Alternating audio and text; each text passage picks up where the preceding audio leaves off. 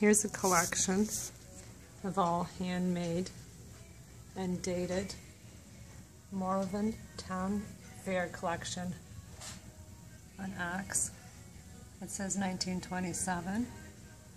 A smaller one, it's dated and signed by artist.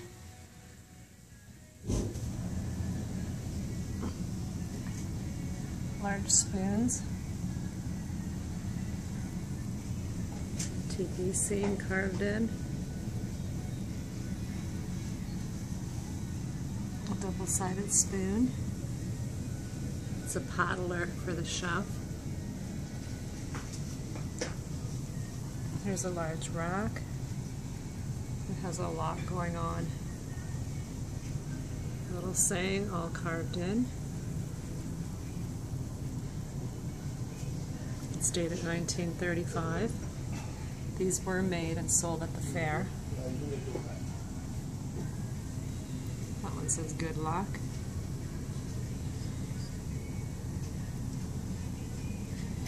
An axe was seen on a chief spoon. These can all be viewed at Strathroy Antique Mall. They are for sale individual. Oh, you can buy as many as you want.